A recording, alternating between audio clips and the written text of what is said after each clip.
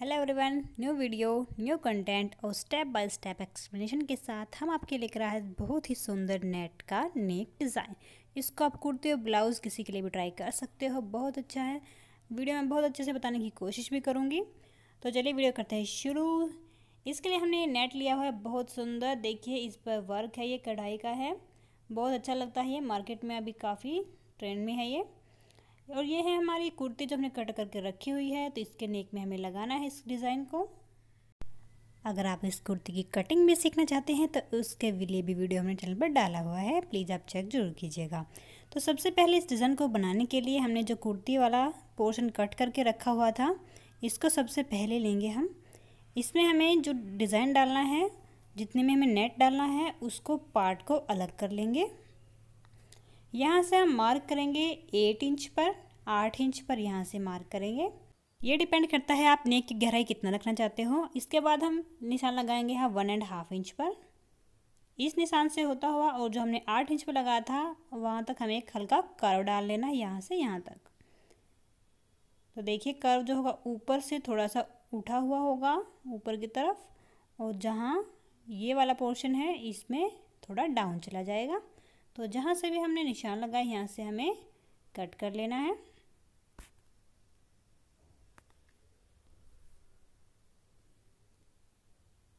इसको हम आपको ओपन करके दिखाते हैं, किस तरह की शेप आएगी ये। ये वाला हमारा अपर वाला पार्ट रह जाएगा और ये हमारा होगा लोअर वाला पार्ट। अब देखिए जो लोअर पार्ट है, उसको बनाने के लिए हमें एक पट्टी चाहिए होगी ताकि इसमें लगाकर हम सील सकें। तो उसकी कटिंग कर लेते हैं। यहाँ मैंने, यहाँ इस वाले पोर्शन में इसको लगाएँगे। तो ये मैंने चार इंच चौड़ी पट्टी ली है। इसकी लंबाई जितनी हमारी, जो ब्रेस्ट की चौड़ाई थी यहाँ, इतनी ही रखनी है।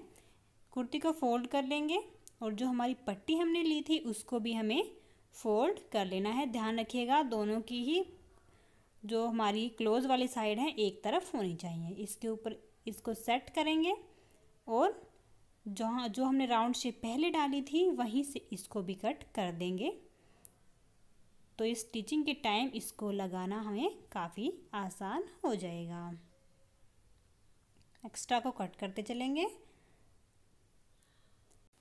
अब इस पार्ट की कटिंग तो हमारी हो गई है। अब जो नेट वाला पोर्शन रहता है, उसकी कटिंग हमें करनी है। तो देखिए, जो हमने ऊपर जो हमारा कटिंग के बाद बचा था, उसको आपको इस तरह से फोल्ड कर लेना है।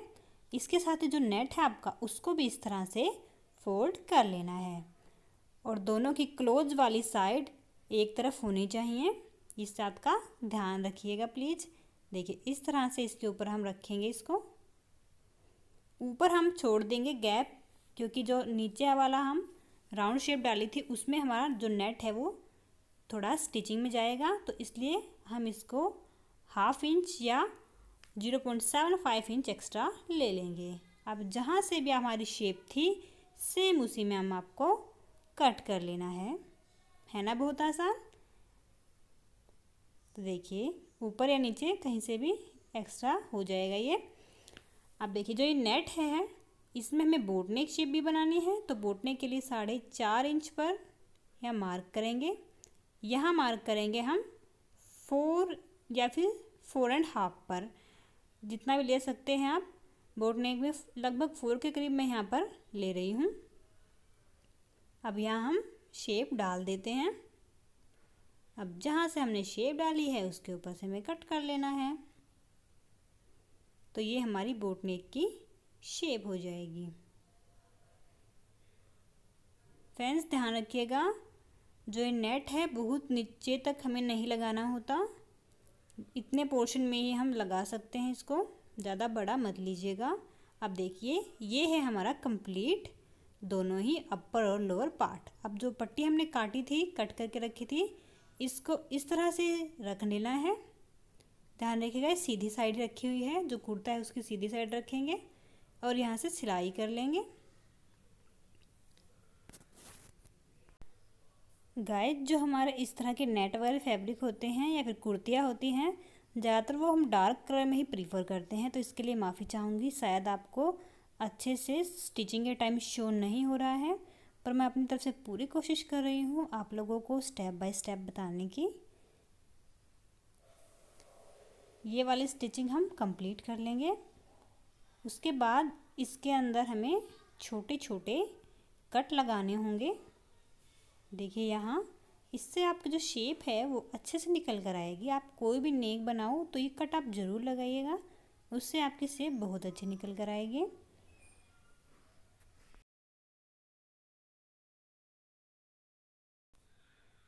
अब हम हमारे नेक को देखिए, जो हमने पट्टी लगाई थी, इस तरह से इसको पलट देंगे और अच्छे से इसको नाखून की मदद से या फिर प्रेस की मदद से बाहर की तरफ़ निकाल लेंगे। और इसके ऊपर से हमें बड़े पैर वाली सिलाई करनी है। ये सिलाई हमें बाद में निकाल देनी है।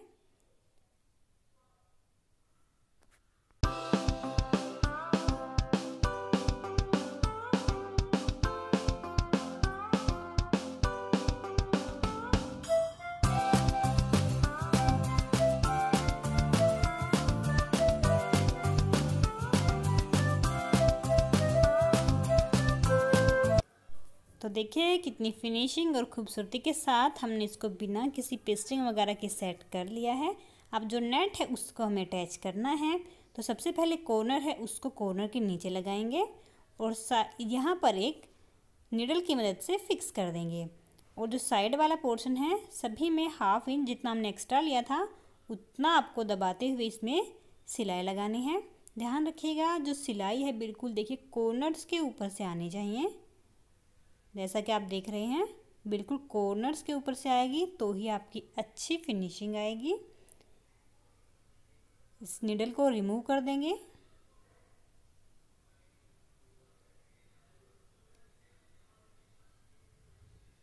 तो इस तरह से हम जो लास्ट एंड है, वहाँ तक इसको स्टिच कर लेंगे।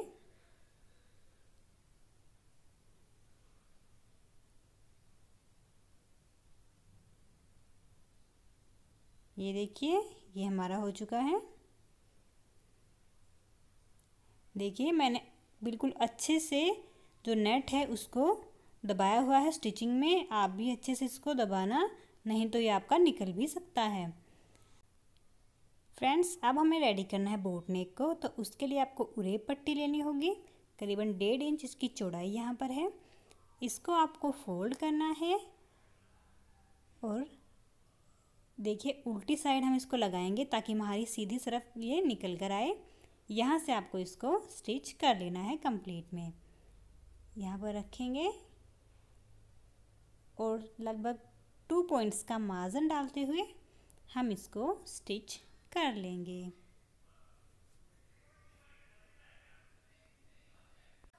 फ्रेंड्स आप अगर कोई भी ड्रेस सीखना चाहते हो तो आप हमारे चैनल पर ज़रूर विज़िट कीजिएगा। एक बार ज़रूर चेक कीजिएगा सभी वीडियोस को, क्योंकि बहुत अच्छे से मैंने सभी ड्रेस बहुत सारी ड्रेसेस जो हैं, डाली हुई हैं। उरे पट्टी को हम कंप्लीट नेक में लगा लेते हैं। उसके बाद देखिए आपको क्या करना है। एक्स्ट्रा को साथ साथ कट करते हुए चलेंगे। अब जैसे हमने नीचे वाले पार्ट में कट लगाए थे छोटे छोटे बिल्कुल बिल्कुल छोटे छोटे कट लगाने हैं, ध्यान रखिएगा, जो स्टिचिंग है वो कट नहीं होनी चाहिए। यहाँ भी हम ऐसे ऐसे कट लगा देंगे। अब नेक्स्ट हमें इसको दूसरी तरफ़ पलट देना है। ये हमारा उल्टा वाला साइड था, अब ये हमारा आ गया है सीधा वाला साइड अब इसको इसे मोड़ेंगे और यहाँ बिल्कुल कॉर्नर से होते हुए आपको सिलाई लगा देनी है। कॉर्नर से लगाएँगे, तभी आपकी इसमें फिनिशिंग अच्छी दिखेगी। रेडीमेड से भी बेटर ये डिज़ाइन आपका बनकर तैयार होगा, यकीन कीजिए। बिल्कुल सिंपल सोबर है, किसी भी अन्य मटेरियल का हमने यूज़ नहीं किया है इसमें।